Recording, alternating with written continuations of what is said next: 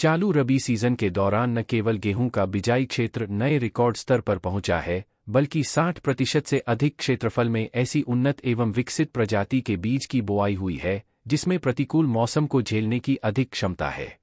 हालाँकि प्रमुख उत्पादक प्रांतों में लंबे समय से अच्छी बारिश नहीं हुई है, लेकिन मौसम ठंडा होने तथा तापमान नीचे रहने से गेहूँ की फ़सल को राहत मिल रही है, और अधिकांश इलाकों में इसकी हालत संतोषजनक बताई जा रही है।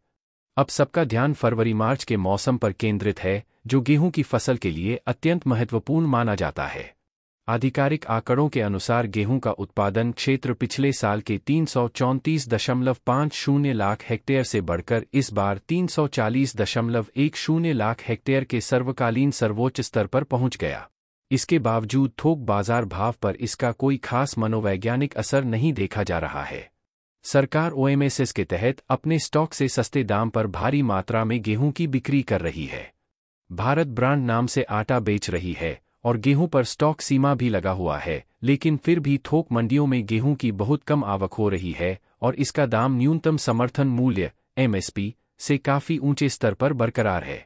गेहूँ का उत्पादन क्षेत्र उत्तर प्रदेश में सत्तानवे दशमलव चार पाँच लाख हेक्टेयर से उछलकर एक सौ दो दशमलव दो नौ लाख हेक्टेयर मध्य प्रदेश में तिरासी दशमलव तीन शून्य लाख हेक्टेयर से बढ़कर सत्तासी दशमलव एक शून्य लाख हेक्टेयर तथा बिहार में चौबीस दशमलव सात तीन लाख हेक्टेयर से सुधरकर पच्चीस दशमलव एक छह लाख हेक्टेयर पर पहुँच गया है।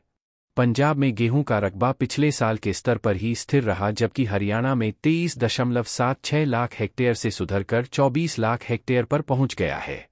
महाराष्ट्र में गेहूँ की बिजाई घटी है। गुजरात में भी क्षेत्रफल पीछे रहा।